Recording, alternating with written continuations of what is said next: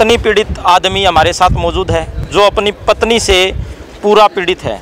ये रो रहा है साथियों ये देख सकते हैं रो रहा है। जी दस साल बिताए पहले उसके साथ उसने मेरे को इस मोड़ पे लाके छोड़ दिया। कोई तो अपने बच्चों की परवरिश करने के बाद किसी को क्या पता है बुढ़ापे में लाके ये, ये उसकी दुर्दशा करे। कोई फ़ायदा नहीं है आराम से जियो। संघर्ष करो मेहनत करो। मैं किसके लिए जीऊँगा जी? मैंने इतने साल इनका किया इन्होंने मेरी कोई कदर नहीं समझी जी। एक घंटा मेरे को ईट बट्टों से जी लगा के पिटा है। ईटें मारी हैं जी मेरे मेरे लात घुसे मारे। नमस्कार दोस्तों मैं आपका दोस्त सोनू शर्मा इस वक्त मौजूद हूँ सिरसा के सरकारी हॉस्पिटल में। साथियों मेरे आने का कारण ये है क्योंकि गौर से देखिए इस चेहरे को। ये अपनी पत्नी से धोखा खाया हुआ इंसान और इसके साथ साथ अपनी पत्नी से पीटा हुआ इंसान और इसके साथ साथ अपने बच्चों द्वारा पीटा हुआ इंसान है साथियों। पीड़ित है दर दर की ठोकरें खा रहा है। पिटाई होने के बाद में ये सर- सिरसा के सरकारी हॉस्पिटल में मेडिकल करवाने आए अब न्याय मांग रहे हैं। कह रहे अभी दुनियादारी खत्म हो चुकी है। अब मैं जाऊँ तो कहाँ जाऊँ? हाँ जी, क्या नाम है? निरंजन नाम है जी मेरा। दस साल पहले मेरी शादी हुई थी। और मैंने इसको अपने दिलो जान से ज़्यादा चाह, बच्चे मैंने पाले पोसे इतने बड़े किए। मैंने तीस से पैंतीस लाख रुपए इसके लिए खराब किया। दिन रात इनके लिए मेहनत की, इन्होंने इस हालत में ला के इसको, अब इन्होंने आके मेरे को मारने की साजिशें रचने लगे मेरे को नशा देने लग गए। और जान से मारने की मुझे अभी धमकी देते हैं। कल भी मुझे मारा पिटा इन्होंने घर बुला के और एक वो रास्ते में वो नाम का लड़का है, वो कहता है, तेनू तो मैं जानो मार देंगा। मैं तेनू जानो मार देंगा भाਵੇਂ मेरे ते पर्चा क्यों ना हो जाए?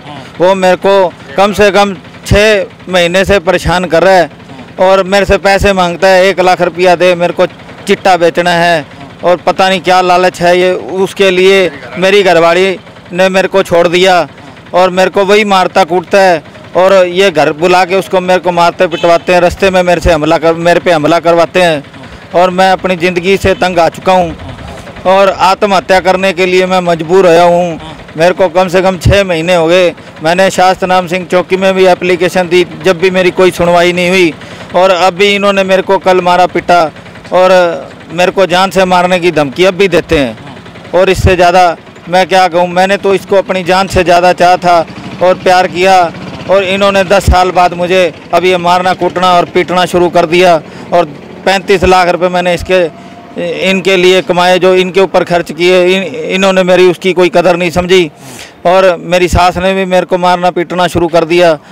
और मेरी सास ने और मेरे बच्चों ने मेरे को पिटा मेरी घरवाली ने मुझे पिटा। और वो मुझे कम से कम छः महीने से पिटते आ रहे हैं। और जान से मारने आपके और आपकी पत्नी के बीच में तीसरा कौन है जो हरी विष्णु कॉलोनी सोलह नंबर गली में रहता है। वो कहता है तेरे को जान से मार दूँगा और जानो मार दूँगा। मैंने उसका कुछ नहीं बिगाड़ा ना मेरी उसके साथ कोई रिश्तेदारी है और ना ही मेरा कोई लेना देना है। वो मेरे को घर पे आके मेरे को हमला करता है मेरे पे। क्यों करता है हमला घर पे आके? ये पता नहीं जी मेरे को तो समझ ही नहीं। मेरी घरवाली के साथ पता नहीं क्या वो कहता कहता तू रोक सके तो रोक ली। कहना मैं तो इन्ना नाल बोलूँगा करूँगा। जबकि मेरा उनके साथ कोई रिलेशन ही नहीं है जी। और वो फिर भी मेरे को कल भी उसने मेरे पे हमला किया। वो तो मेरे पास एक लाख रुपये मांग रहा था पेमेंट वो तो मेरे मैं भी नौकरी करता हूँ जी। मेरा मेरा सारा दिन पेमेंट का काम है। पता नहीं कहाँ मेरे पे हमला कर दे। मेरी तो जान को खतरा है जी। मैं तो प्रशासन से यही उम्मीद लगाना चाहता हूँ कि वो मेरी जान की रक्षा करे और मेरी जान बचाए। शादी कितने साल शादी मेरी दस साल पहले हुई थी जी। और दस साल पहले शादी हुई थी। अब वो मेरे को मारने कूटने लगी और बच्चे मेरे को मारने कूटने लगे। मेरी सास मेरे को मार मेरे दस साल बाद में अब आपको मार पिटाई पर की मेरे को यही समझ नहीं जी। कहीं ना कहीं गलती आपकी भी होगी। मेरी कोई गलती नहीं पहले मार कुटाई। उन्होंने ही की है जी शुरू। मैंने कोई नहीं वो जब ये केस में और चोरी के केस में एक बार फंस गया था तो मैं जब पड़ोस में था मेरे को ये नहीं पता था भी ये मामला है। मैं गया था जब मैं आत्माराम सरपंच वाली गली में रहता था। जब मुझे पता लगा भी ये चोरी का और चिट्टे का काम करता है और जब मैंने इनको मना किया तो ये कहते "हाँ, हम तो इसके साथ बोलेंगे। और और वो उसके बाद मेरे को आने आके मारने कूटने लग गया परेशान करने लग गया। आपको घर से बाहर मेरे को घर से बाहर निकाल दिया जी उन्होंने। मारे मेरे घर पे जा जाके मेरे को मारता है जी वो। और मेरे पे तो इतनी बार हमले किए हैं जी कोई सुनवाई नहीं हो रही जी मेरी। नहीं आपका घर आपकी पत्नी आपके बच्चे आपको ही घर से बाहर निकाल मेरे को निकाल दिया जी उन्होंने उसके उसके चक्कर में मेरे को घर से बाहर निकाल दिया जी। जो मेरे पिताजी ने मेरे को ले घर पे लेके आए मेरे को जब मेरा टेस्ट करवाया जब मुझे पता लगा कि भी इन्होंने मेरे को नशा दिया है। और मैं मैं मैं मैं तो मरने की दादात पे हो गया था जी। इन्होंने मेरे को नशा नशा दे दे के मार देना था। इन्होंने मेरे फ़ोन की लोकेशन तिकर से मेरी फ़ोन पे डाल रखी थी अपने फ़ोन पे। भी मैं कहीं जाता था रिश्तेदारी में तो ये बता देते थे कि फलानी जगह बैठा है। मैं फलानी जगह जा मैं मेरे पापा के पास जाता था तो मैं के कह देते थे मैं इसको कहता था मैं हॉस्पिटल में गया तू तो फलानी जगह बैठा है। मेरी लोकेशन लगा रखी थी। जब भी इनको इतनी बात का पता था जी मेरी लोकेशन लगाने का कोई किसी इंसान की लोकेशन लगाएगा जब भी उसकी लोकेशन का पता लगेगा फलानी जगह बैठा है ये तो ऐसे बोलते थे जी फलानी जगह तू वहाँ क्या लेने गया? तू तेरे बाप के पास क्या लेने गया? ये तो मेरे को मारने कूटने लग जाते थे जी घर जाता था जब। इतना परेशान हो चुका हूँ मैं तो आत्महत्या करने के लिए मजबूर हूँ जी। तो उसके बाद उसने तो चलो सपोज़ करो आपको पीटा उसके बाद में आप उसके घर करने क्या क्या लेने गए थे? आप उसके घर जी मैं नॉर्मली बात करने के लिए गया था।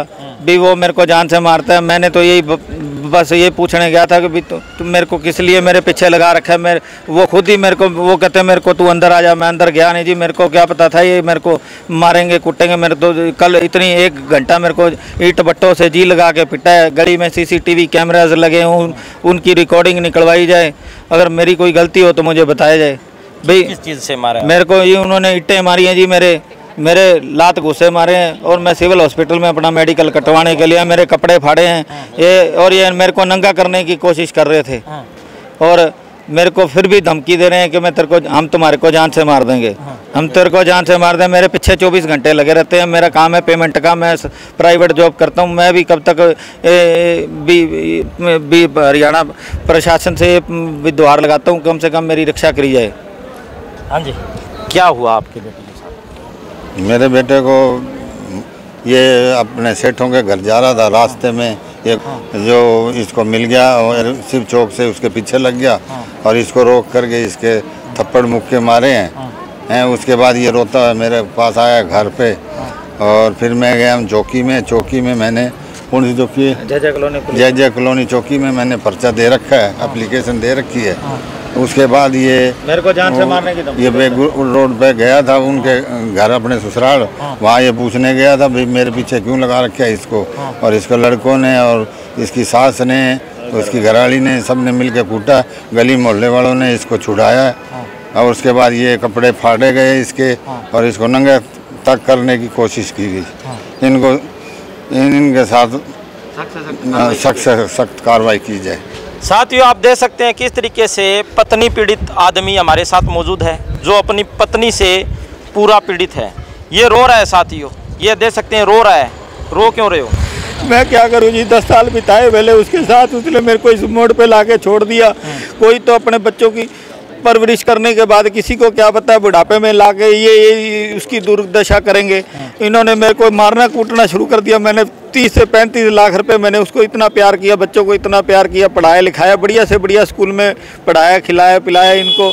इनकी एजुकेशन बढ़िया करवाई लेकिन इन्होंने और मेरा मेरे इन्होंने मेरी कोई कदर नहीं समझी। मैं आत्महत्या करने के लिए मजबूर हो चुका हूँ। जी इस टाइम मेरे को जान से मारने की धमकी देते हैं ये चौबीस घंटे मेरा पीछा करते रहते हैं। अब आप घर बसाना चाहते हो या मैं अब घर नहीं बसाना चाहता जी मैं मैं नहीं बसाना चाहता इसको। मेरे को जो मारते कूटते हैं जान से मार के बाहर वाले घर ही नहीं बसाना चाहते और अब वो फिर आप बार बार उनके घर क्यों जाते हो? फिर घर क्यों घर में इसलिए गया था जी मेरी पत्नी है अभी वो। मैंने कोई अब ये नहीं है मेरे को मारने कूटने लग गया। मैं इसलिए पीछा छुड़ा रहा हूँ कि भी मेरे को इनके पास जाने का कोई फ़ायदा नहीं है इन्होंने मेरे को मार ही देना है जी। इनके पास जाने का कोई फ़ायदा नहीं है। अब ये धमकियाँ देने लगे मारने कुटवाने लगे अब इनके पास जाने का कोई फ़ायदा नहीं है अब तो पीछा छुड़वाने का फ़ायदा है जी। अब आप भी समझदार हो कोई इतनी कोशिश जब मारने की कोशिश करे उसके बाद कोई घर जाने की कोशिश करेगा। कल गया था जी इन्होंने मेरे पे इतना तकड़ा हमला किया मेरे को ईट बट्टों से कूटा और आपको भी साजिश का पता ही है सब।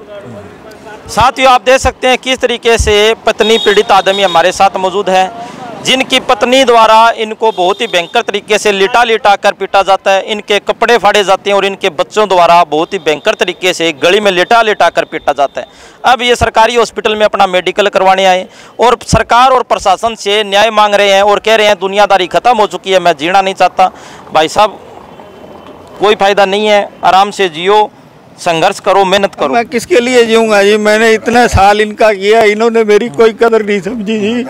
अब ना इन्होंने किसी की कदर करनी सिखाई।